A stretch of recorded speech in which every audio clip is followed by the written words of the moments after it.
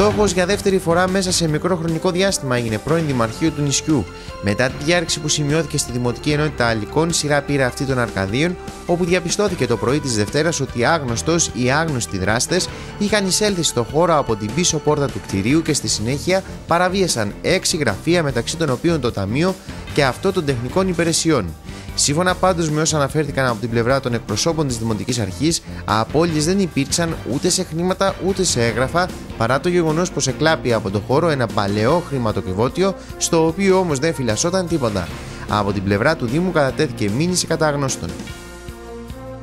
Την πρόθεση του συνδυασμού του να βοηθήσει στο έργο της Δημοτικής Αρχής επαναβεβαίωσε για ακόμη μία φορά ο επικεφαλής της μειοψηφίας του Δημοτικού Συμβουλίου Αντώνης Αντίοχος.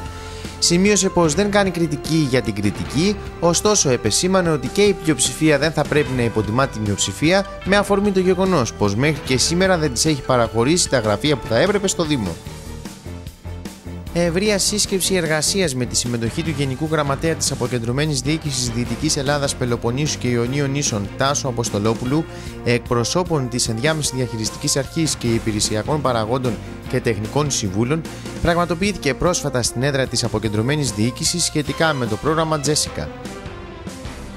να τρέξει άμεσα η Δημοτική Αρχή το ζήτημα της κατασκευής των νέων σφαγείων, ζητά ο επικεφαλής της μειοψηφίας του Δημοτικού Συμβουλίου Αντώνης Αντίοχος Μπαλιακράς. Όπως εξήγησε, η χρηματοδότηση του διαδημοτικού προγράμματος της ΕΑ δεν μπορεί να χρησιμοποιηθεί στην παρούσα φάση, αφού προοριζόταν μόνο για ανώνυμη εταιρεία, λόγος για τον οποίο πρέπει να πραγματοποιηθεί τροποποίηση του τίτλου της, προκειμένου να μπορεί να χρησιμοποιηθεί για δημοτικά σφαγεία.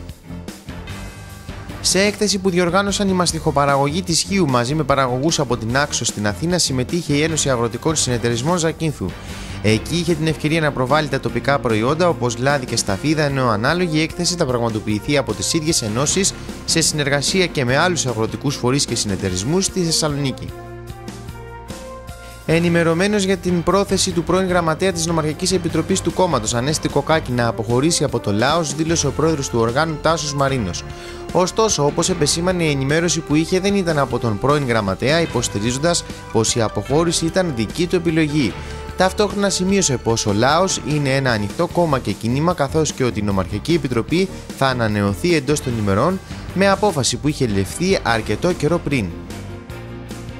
τριήμερες θα είναι οι φετινές καρναβαλικές εκδηλώσεις της Γκιόστρας που διοργανώνει η αστική μη κερδοσκοπική εταιρεία Γκιόστρα Ντιζάντε.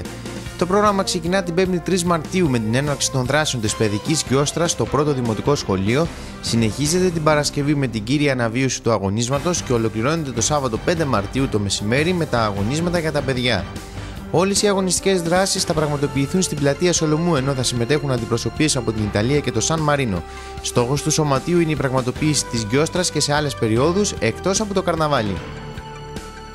τις εγκαταστάσεις της εφημερίδας ημέρα της Ζάκηθος, όπου είχαν την ευκαιρία να παρακολουθήσουν από κοντά τη λειτουργία της και να μάθουν ορισμένα από τα μυστικά του δημοσιογραφικού επαγγέλματος και όχι μόνο, είχαν την ευκαιρία να επισκεφθούν μαθητές από το δεύτερο λύκειο της Παναγούλα και συγκεκριμένα από την πρώτη λυκείου και τα τμήματα Α2, Α3 και Α6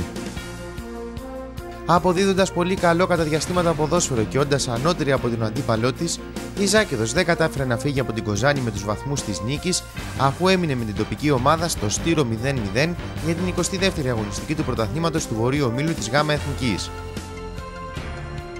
Παλικαρίσια νίκη με αρκετή δόση τύχης πήρε το απόγευμα της Κυριακής ο Αστέρας Μαχεράδο επί του Τριταϊκού με 2-1 για την 21η αγωνιστική του Περιφερειακού Πρωταθλήματος. Πρόκειται για νίκη που βάζει την ομάδα του νησιού ξανά στο κόλπο της παραμονής σε συνδυασμό με την ήττα της Εράνης από τον Ολυμπιακό Κεφαλονιάς.